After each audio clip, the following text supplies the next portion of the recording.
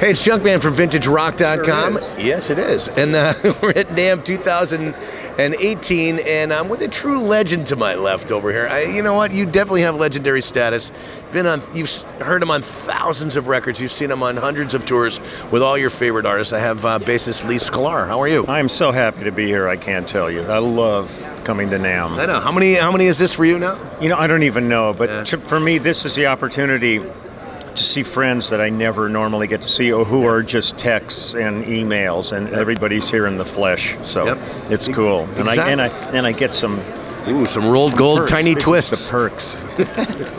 They feed him well, in other Oh, words. so. absolutely, absolutely. Man, such a such a, a plethora of work that you've done. You've just got with everybody, all these famous people. You've seen him with James Taylor for years, and you've seen him with other people. You're on the road with Phil Collins now. Yeah, we just finished um, at the end of last year, um, latter part of last year. We did some gigs in Europe just to feel things out because he hasn't hadn't worked in ten years. He was Yeah, retired. he had- he had a- retired. He had a back problem. Yeah, and and he decided he missed it and he wanted to come back. And then we did a really pretty extensive UK tour.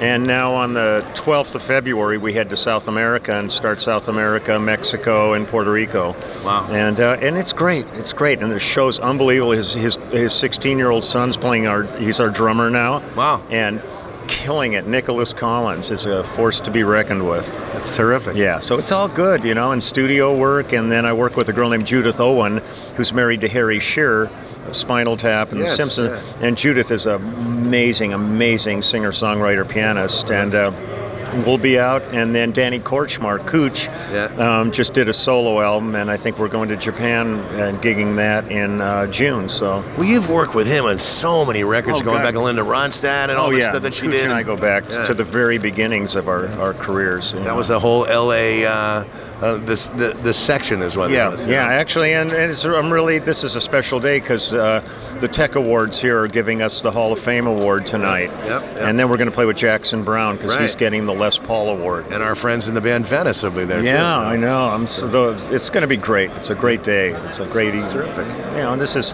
this is one of those magical places that you know everybody comes together and there's no BS. Everybody's like in it because they love music, and uh, it's pretty special. No, I met many egos here. Well, they're supposed to check them at the door, but they, you know what? It's half the fun of seeing them. You know. No, I know. Well, they're all still at the Hilton.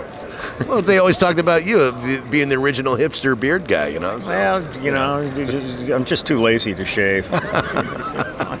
Let's talk gear. Um, what are you playing these days, and who are you here to see uh, in terms of gear guys? Um, th- there's two bass companies that I deal with, um, and they're very completely different instruments. Um, I work with Dingwall for my five string, and they're, they're out of Saskatoon, Canada. And I actually am just going upstairs to pick up a new one that they just built me.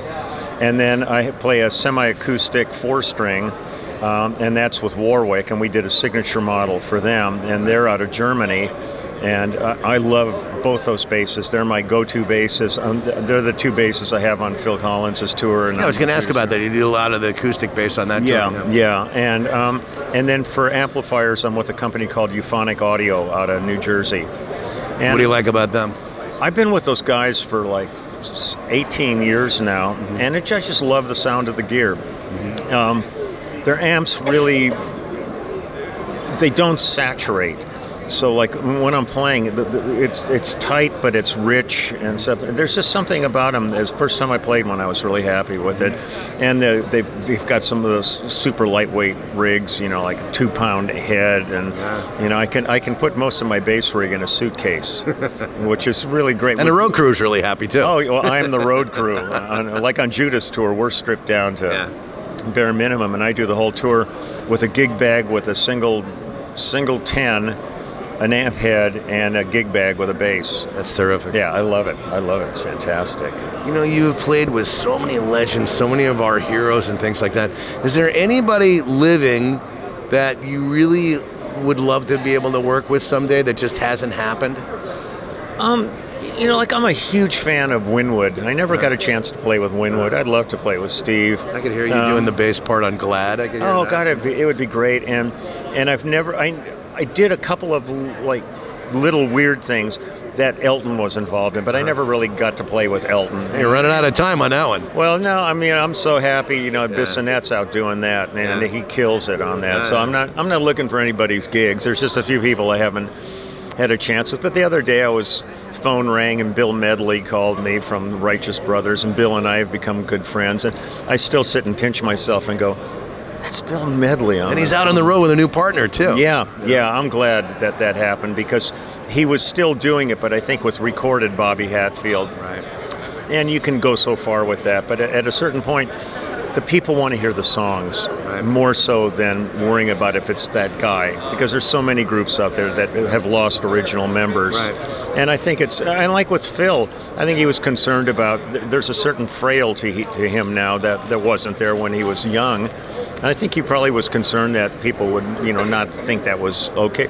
Man, the minute he walks on stage, they go ape shit, and they just want to hear all these songs. And we're doing Genesis songs and Yeah. Phil songs, so it's really the audience wants to live those songs, and uh, they're not as concerned. I mean, if, if there was nobody and it was like like a tribute band up there doing like some like like a band called Sussudio or something Right. like that doing Phil, that'd be slightly different. But still, you look at the audience and they're having a great time because a lot of tribute bands are as strong, if not better, than the bands they're tributing at this Absolutely. point. So it's all good. Plus, it's been so long since since people have seen him live anyway. Yeah, so it's it's all good. We're having a great time. It's terrific. I'm a happy camper. I can, and I've got pet pretzels. I mean, they didn't cost anything. A musician and free food is one of the greatest combinations in the world. Spoken like a true pro. well, I appreciate you ca- talking with us here, Lee. And again, enjoy the rest of NAMM, the Tech Awards tonight. You'll be seeing him with uh, with the, with the guys. And uh, it's again, a fun day. It is had by all. Happy NAMM. Okay, take care. JunkmanVintageRock.com again at NAMM uh, 2018 with the great Lee Sklar. Take care, guys.